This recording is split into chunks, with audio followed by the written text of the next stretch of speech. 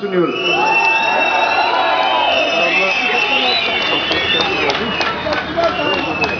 Sağlık Bakanımız Doktor Mehmet Müezzinoğlu'na konuşmalarından dolayı teşekkürlerimizi sunuyoruz. e, Mali İdareler Müdürü kadrolar. Hazır mıyız seçimde? Elleri ve bayrakları görelim. Yeni